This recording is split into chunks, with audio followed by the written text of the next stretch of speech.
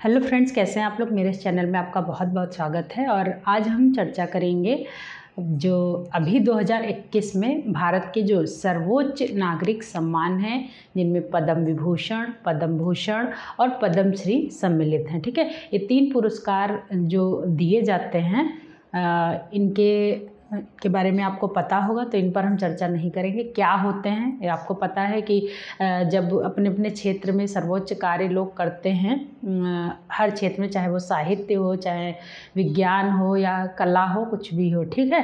तो मतलब उसमें इन लोगों को ये पुरस्कार दिए जाते हैं। क्रिकेट वगैरह इसमें जो भी अपने क्षेत्र में जो एक उत्कृष्ट कार्य के करते हैं, उनको ये पुरस्कार प्रदान किए जाते हैं। तो अभी हम पढ़ेंगे कि कला के क्षेत्र में इस साल 2021 में किन किन कलाकारों को इन तीन जो पुरस्कार हैं इनसे नवाजा गया है। आपके लिए महत्वपूर्ण है, आपके एग्ज़ाम में भी ये क्वेश्चन पूछे जा सकते हैं, ठीक है? तो चलिए स्टार्ट करते हैं। देखिए, सबसे पहले है पद्म विभूषण। पद्म विभूषण।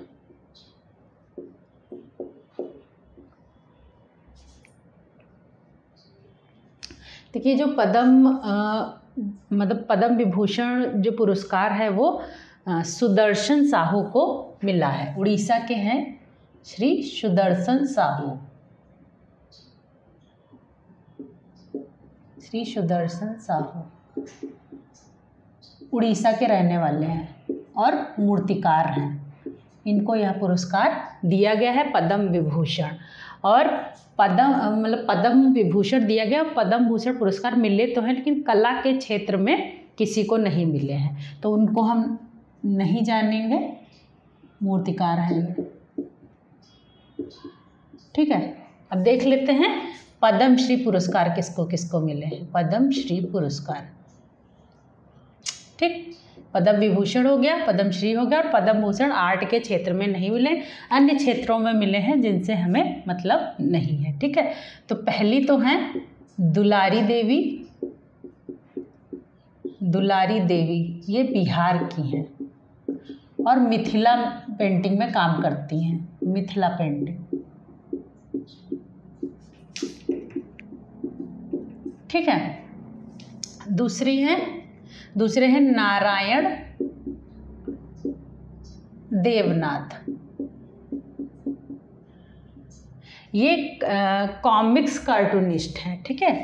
कॉमिक्स में cartoon comics comics cartoonist West Bengal के हैं कार्टूनिस्ट कार्टूनिस्ट ठीक है? तीसरे हैं भूरी देवी हैं, भूरी देवी। पिथौरा आर्ट मध्य प्रदेश की हैं पिथौरा आर्ट ठीक है, मध्य प्रदेश की रहने वाली हैं। ठीक तो पद्म विभूषण श्री सुदर्शन साहू उड़ीसा के हैं, मूर्तिकार इनको मिला, पद्मश्री तीन लोगों को मिला है, दुलारी देवी, नारायण देवनाथ और भूरी देवी। 2021 में। ठीक है? 2021 में इन लोग को पुरस्कार मिला है जनवरी। नाम याद कर लीजिएगा, ठीक है? अब चलिए अब इनके बारे में थोड़ा थोड़ा आप लोगों को बता देते हैं, जान लेते हैं कि काहे में ये लोग कैसे काम करते हैं।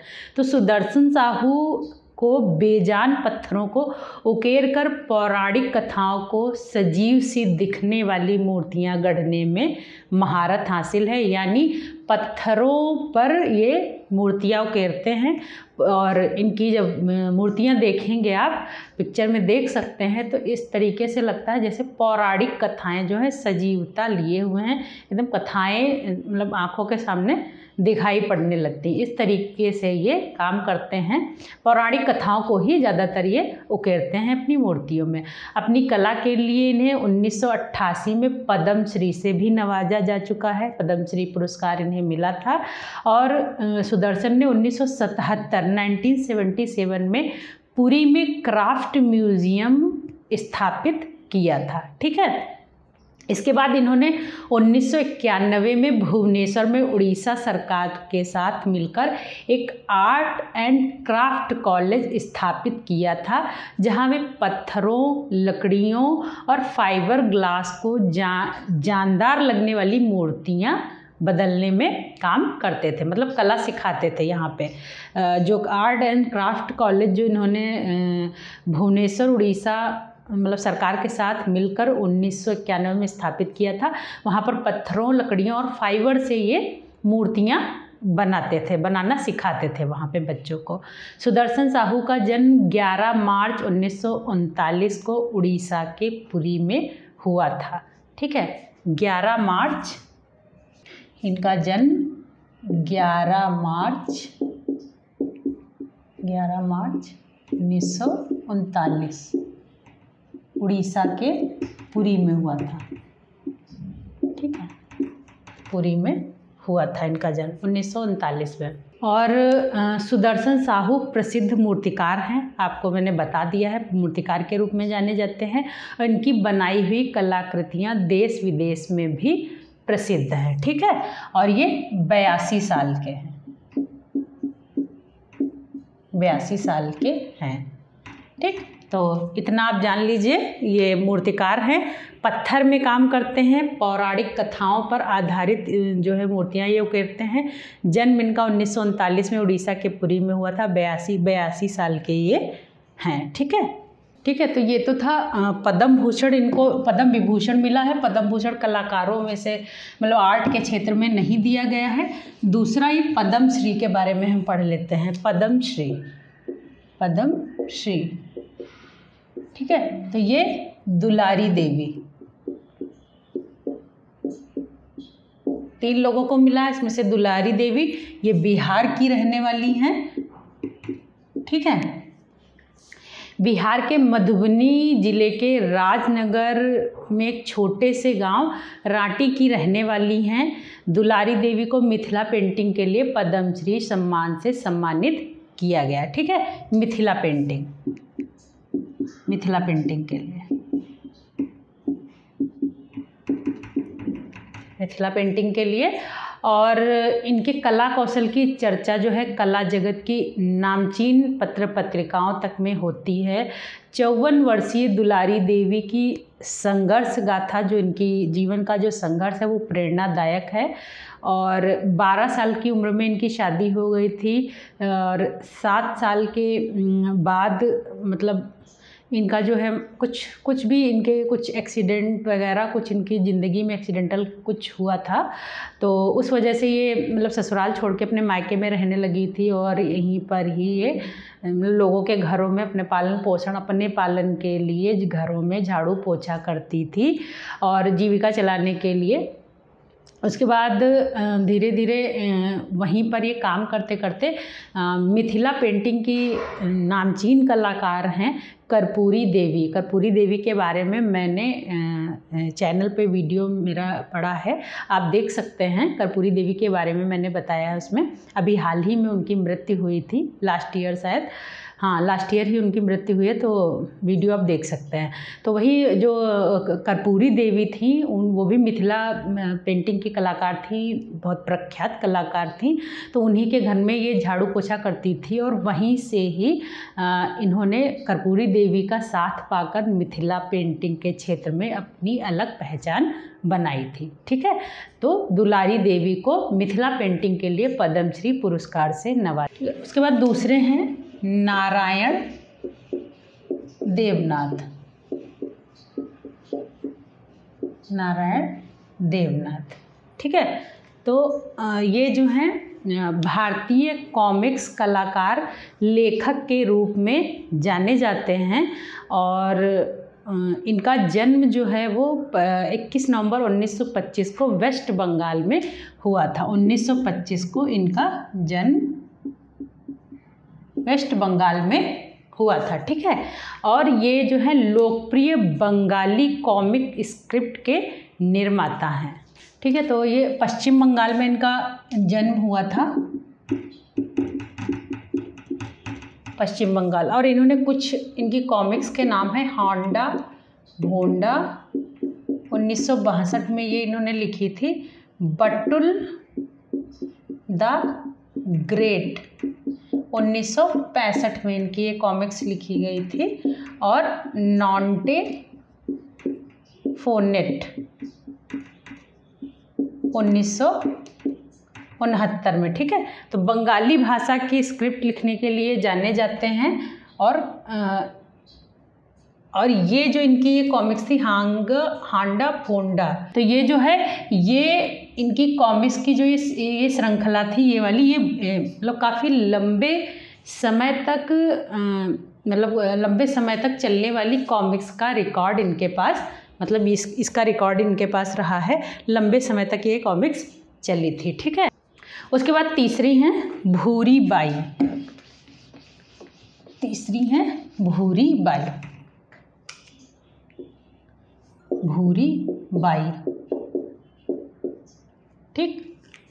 भूरी बाई, पद्मश्री। याद रखिएगा, पद्मश्री। पुरस्कार। भूरी बाई और ये पिथौरा आर्ट के लिए इनको मतलब जानी जाती हैं, इसीलिए इनको ये सम्मान से नवाजा गया है। मध्य प्रदेश की रहने वाली है। भूरी बाई देखिए भूरी बाई एक भारतीय भील भील कलाकार हैं। पिटोला गाँव में इनका जन्म हुआ था और ये जो पिटोला मध्य प्रदेश में झाबुआ ज़िले का एक गाँव है, ठीक है? भूरीबाई भारत के सबसे बड़े आदिवासी समूह भीलों के समुदाय से हैं और इस बार इन्हें 2021 में भारत के चौथे सर्वोच्च नागरिक सम्मान परम पद्म श्री से सम्मानित किया गया है। और इस बार इन्हें 2021 में भारत के सर्वोच्च नागरिक सम्मान पद्मश्री से सम्मानित किया गया है। इन्होंने मध्य प्रदेश सरकार, शिखर सम्मान तथा कलाकारों को दिए गए सर्वोच्च राजकीय सम्मान सहित कई पुरस्कार जीते हैं। भूरीबाई इस समय भोपाल में आदिवासी लोक कला अकादमी में कलाकार के तौर पर काम करती हैं और वहाँ पर मतलब बच्चों को सिखाती भी हैं। इनके चित्रों में जंगल, जानवर, भील देवी देवताएँ, अन्नागार, झुपड़ियाँ, हाट, उत्सव, नृत्य कथाओं सहित भील जीवन के प्रत्येक पहलू को इन्होंने इसमें बनाया है, ठीक है? और भूरीबाई जो है मतलब जो परम पारंपरिक तौर पर जो ये कला थी, उसके साथ साथ इन्होंने समकालीन कला को भी इसमें जोड़ दिया है। कंटेम्प्रेरी मतलब कला के साथ भी ये इन्होंने अपना सफ़र चलाया है और उसमें इन्होंने इन सबके साथ वायुयान टेलीविज़न कार तथा बसों का चित्र बनाना इन्होंने ने कला में शुरू कर दिया था।